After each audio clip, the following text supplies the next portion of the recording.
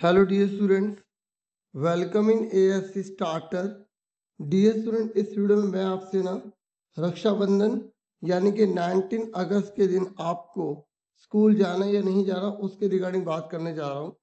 आप ध्यान से सुनिएगा। डियर स्टूडेंट्स कुछ छुट्टी ऐसी होती है जो गैजेटेड होती है। मतलब जो हर स्कूल में छुट्टी होती होती है।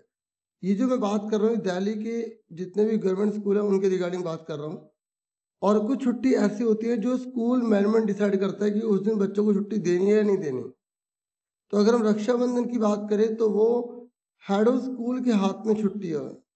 और नॉर्मली मैं आपको बता दूँ कि दिल्ली के जितने भी स्कूल्स हैं ना, उसमें हेड ऑफ़ स्कूल जो है ना, वो रक्षाबंधन की छुट्टी देते ही देते हैं। ठीक है, फिर भी आपको अगर कंफर्मेशन चाहिए, क्योंकि अब देखो, ये स्कूल का मैनेजमेंट तय करता है कि छुट्टी दे या ना दे। ठीक है तो मैंने आपको बता दें कि नॉर्मली हर स्कूल के अंदर इस दिन छुट्टी दी जाती है। फिर भी आपको व्हाट्सअप का वेट करना पड़ेगा कि व्हाट्सअप पे मतलब मैसेज का वेट करना पड़ेगा स्कूल से।